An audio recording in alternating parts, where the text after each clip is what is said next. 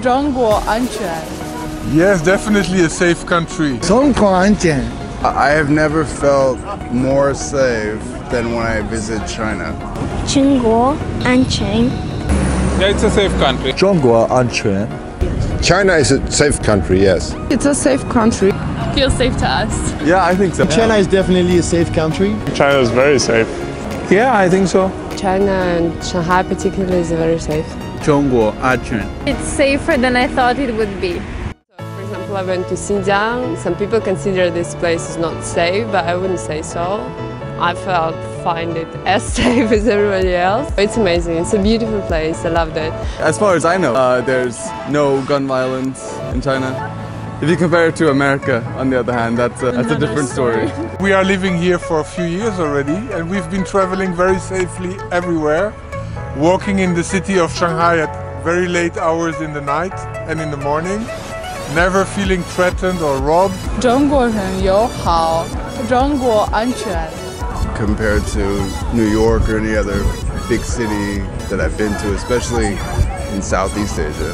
When you walk down the street in China, you never have to worry about somebody looking at you or following you. People are friendly on the hotel. The fire protection is good. I was in, in Xinjiang, Urumqi, yesterday. Many police checks all over. I, I feel comfortable in, in China. I didn't see any uh, suspicious thing to be afraid of. Uh, I have never heard of any news about the terror or any bad things happen in China, so that was relaxing. I have never felt accosted.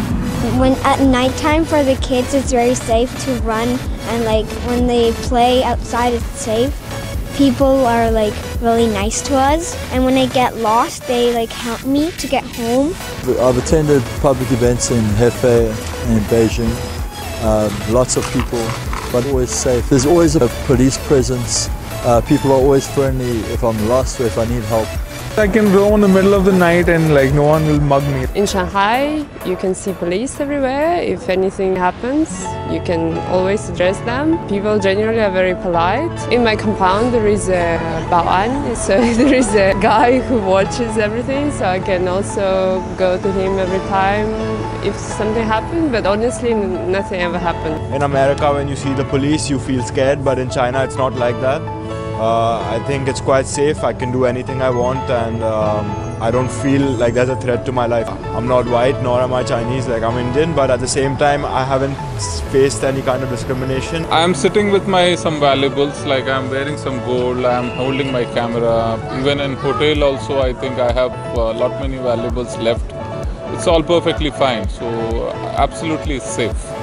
As you can see, we have lots of video cameras everywhere and many security personnel, lots of guards. They are in charge even of uh, making sure people don't park their bikes on the sidewalk. Before coming to China, I was in Japan for two years, so I had an idea of China that was uh, a bit biased, especially in the West. Uh, the media are not doing the proper coverage, I think, of China. So when I arrived four years ago in Shanghai, I thought it wasn't that safe. I was actually surprised. I came here with no expectations and I was pleasantly surprised.